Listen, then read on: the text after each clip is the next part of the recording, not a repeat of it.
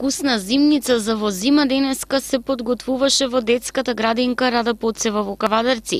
Вредни беа и дечињата од големите групи при работниот објект Изворче.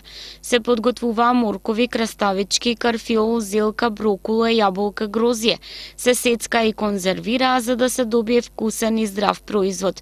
Туршија и компот за вкусна зима. Целта е велат од градинката децата од најмала возраст да ја учат традицијата, но и да стекнат навика за здрава храна. Зеленчукот и овошјето се најголемиот извор на витамини, она што на сите најмногу им треба.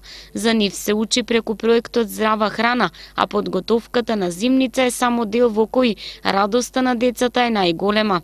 Во рамки на проектот, детската градинка Рада Поцева веќе години со ред доаѓа до вкусни намирници за во зима, кои подоцна се изложени и на продажен базар.